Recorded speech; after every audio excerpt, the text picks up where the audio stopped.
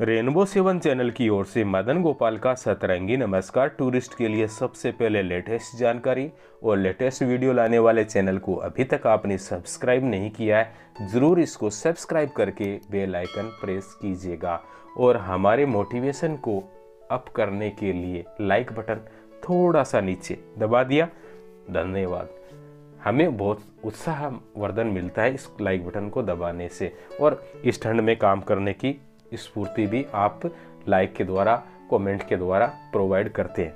Thanks अब बात करें, यदि आप नव वर्ष के ऊपर हिल स्टेशन, मनाली वगैरह, यानी हिमाचल आ रहे हैं, उत्तराखंड आ रहे हैं तो उसमें आप इस प्रकार कार्यक्रम बनाइए कि आपको स्नोफॉल देखने को मिले और स्नोफॉल की संभावना बढ़ चुकी है। इसलिए मैं ये वीडियो आपके लिए प्रस्तुत कर रहा हूँ। शिमला, नारकंडा, डलहौजी उत्तराखंड का ओली और मनाली और भरमौर के आपको लेटेस्ट स्नोफॉल अपडेट देने वाला हूँ। वीडियो पूरा देखिएगा। और एक स्टोरी टेप चैनल को मिला हुआ है, जिसमें पाँच से दस सेकंड का मैं वीडियो पोस्ट करता हूँ। आपके अच्छे लाइक कमेंट आ रहे हैं। और उनका मैं कमेंट का रिप्लाई नहीं कर पा रहा हूँ। उसका प्रमुख कारण है कि स्टोरी टेप में रिप्लाई का ऑप्शन है ही नहीं। इसलिए आपको मैं लाइक ही दे रहा हूँ। यदि आप का कमेंट बहुत ज़रूरी है तो आप वीडियो जो वीडियो आ रहे हैं, उन पर पोस्ट कीजिए।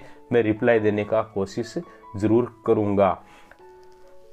यदि आप शिमला पहाड़ों की रानी शिमला आ रहे हैं और यहाँ की राजधानी है हिमाचल प्रदेश की तो आप उसके अंदर मैं नारकंडा की बता रहा हूँ। नारकंडा में थर्टी फ़र्स्ट को स्नोफॉल की संभावना बहुत कम है, हो जाता है तो आपकी किस्मत कही जाएगी।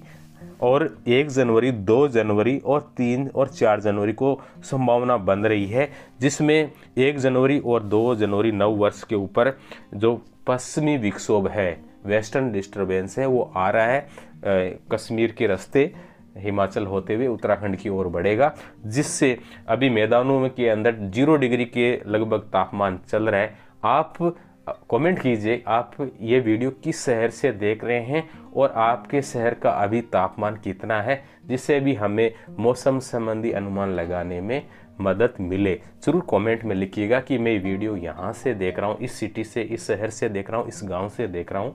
उससे हमें बहुत हेल्प मिलती है मौसम संबंधी प्रिडिक्शन करने में।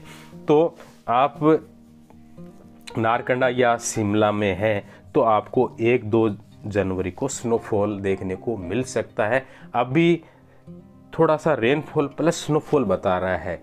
जैसे ही तापमान अनुकूल हो जाएगा तो मेरे को लगता है कि एक या दो जनवरी को आपको स्नोफॉल देखने को मिले और एक दो जनवरी को स्नोफॉल होगा तो तीन और चार को भी संभावना प्रबल हो जाती है। इसी प्रकार हम बात करें डलहौजी की, बहुत प्यारा सिटी है और यहाँ एक पीक है, डेनकुंड, वहाँ स्नोफॉल होता है। जैसे रोहतांग पास में होता है, मनाली में वैसे ही डलहौजी के अंदर डेनकुंड और खजियार। बहुत ही प्यारे टूरिस्ट पैलेस हैं। तो खजियार तो एक स्विट्ज़रलैंड जैसा ही ये टुकड़ा है स्विट्ज़रलैंड का। और वहाँ लगा एक बोर्ड भी लगा हुआ है स्विट्ज़रलैंड, मिनी स्विट्ज़रलैंड। और आप कहेंगे तो वहाँ के वीडियो भी मैं बना सकता हूँ। और यहाँ आपको वही स्थिति है जो यहाँ की है। फ़र्स्ट, सेकंड, थर्ड जनवरी को रेनफॉल और स्नोफॉल बताया जा रहा है, लेकिन स्नोफॉल की संभावना है। फ़र्स्ट और सेकंड जनवरी को मेरे को लग रहा है। बता तो रेनफॉल और स्नोफॉल बता रहा है, लेकिन जैसे ही मौसम अनुकूल होता है तो संभावना लग रही है। कार्यक्रम बना लीजिए यदि आप यहाँ आना चाहते हैं। अब बात करें हम भरमौर की। शिवनगरी भरमौर की और चंबा डिस्ट्रिक्ट में है। डलहौजी भी चंबा डिस्ट्रिक्ट में है और भरमौर भी। बहुत अच्छा जगह है और यहाँ चौरासी मंदिर इससे रिलेटेड वीडियो बने हैं। मैं आई बटन पर लगा दूँगा परमोर की बहुत शानदार जगह है शिव की नगरी। आप आएँ तो यहाँ आपको स्नोफॉल देखने को मिलेगा। कब? स्नोफॉल की बात कर रहा हूँ रेनफॉल की नहीं। एक जनवरी और दो जनवरी को स्नोफॉल की संभावना है। तीन को भी मिल सकता है, यदि एक को हो गया तो। कार्यक्रम बना लें, बहुत अच्छी जगह रास्ता थोड़ा दुर्गम है। ज़रूर चैनल के प्ले लिस्ट में जाकर आप वीडियो देख सकते हैं। पूरी हमने कवर किया है भरमौर को। मेरे को दिल से पसंद आया। रास्ते थोड़े से डिफ़िकल्ट है, वो देख लीजिएगा। और अब उत्तराखंड चलते हैं। वहाँ ओली, बहुत ही प्यारे जगह है।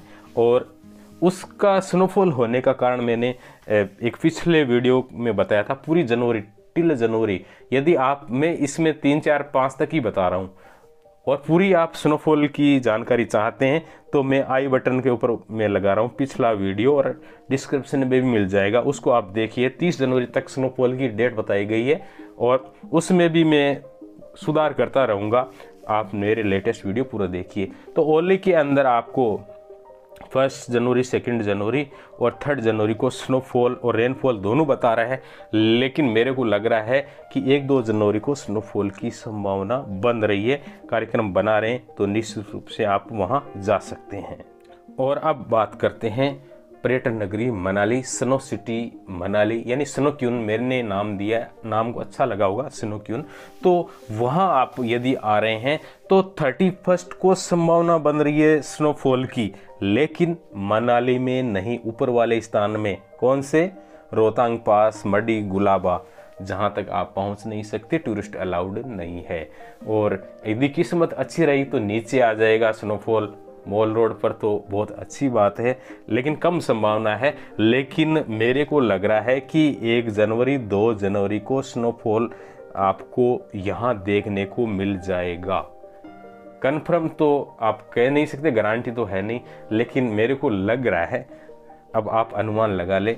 मैंने आज कन्फर्म शब्द कहना छोड़ दिया है। एक वीडियो, मेरा पिछला वीडियो आप चाहे तो देख सकते हैं। उसमें किन्हीं कारण से मैंने कन्फर्म शब्द छोड़ दिया है।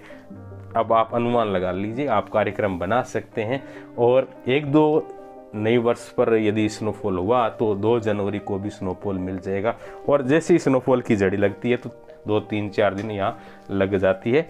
और ट्रैफ़िक अपडेट के बारे में है कि डल हौजी और मनाली के अंदर ट्रैफ़िक की स्थिति थोड़ी सी ख़राब सी है। मतलब यदि आप सुबह जल्दी निकलेंगे तो आपको मनाली तक तो कोई प्रॉब्लम नहीं होने वाली है। सोलंग वैली में आप जाएँगे। सोलंग वैली पर मैंने बहुत सारे वीडियो बनाए। वहाँ जाने के लिए क्या क्या सामग्री साथ ले जानी चाहिए क्या क्या सावधानी रखनी चाहिए कौन कौन सी एक्टिविटी होती है, सारे वीडियो आप इसी वीडियो के नीचे मिल जाएँगे। उनको मैं डिस्क्रिप्शन में उनके लिंक मिल जाएँगे, आप उनको ज़रूर देख लें। यदि आप मनाली घूमना चाहते हैं सीपीएस बजट में होटल और टैक्सी की ज़रूरत है तो डिस्क्रिप्शन में स्वागतम टूर एजेंसी के नंबर दिए गए, उनसे आप कांटेक्ट कर सकते हैं। इसके अलावा एंड स्क्रीन के लास्ट में जो वीडियो आ रहे हैं, उनको भी क्लिक करके देखिएगा और आई बटन पर जो वीडियो आ रहे हैं, उनको भी देखिएगा। वीडियो पूरा देखने के लिए तहे दिल से धन्यवाद। जय हिंद, जय भारत।